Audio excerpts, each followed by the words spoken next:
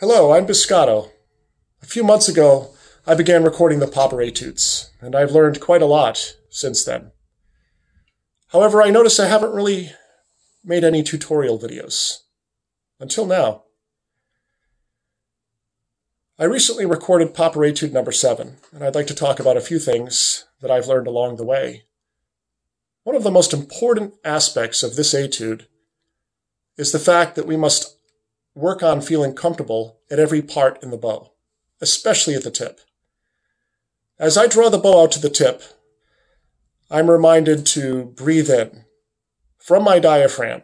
I'm also reminded that I need to push off with my right leg as I go towards the tip, and then push off with my left leg as I draw the bow back into the frog. What that enables me to do is feel a connectedness to my whole body and a balance as well, being aware of a line of energy from the bottom of my feet all the way to the top of my head. Another important aspect is to be aware of the inward rotation of the shoulders as opposed to the outward rotation of the shoulders. Very often when we play in higher positions, it's so easy to hunch over and to inwardly rotate our shoulders. Well, guess what that does to our breathing? It actually keeps us from breathing in a way that is open and it affects our sound greatly. Think of how a singer sings and how they breathe from their diaphragm. Well, we as cellists must do the same exact thing. The more comfortable, the more natural, the more we have an outward rotation of our shoulders as we're playing, especially in the higher positions, the better we're going to sound. I want to talk a little bit about the left hand Obviously, with this etude, there are a lot of hand frames that we must memorize, between the thumb and third finger, mainly.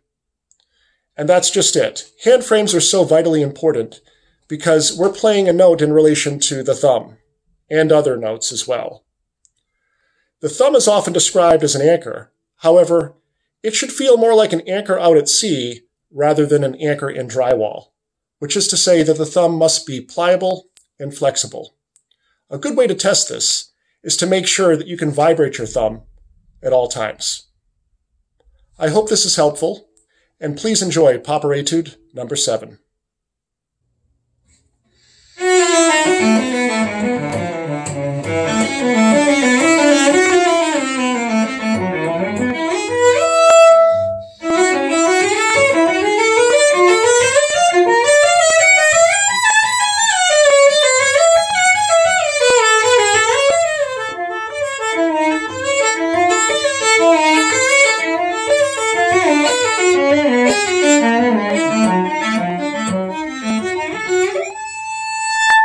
Música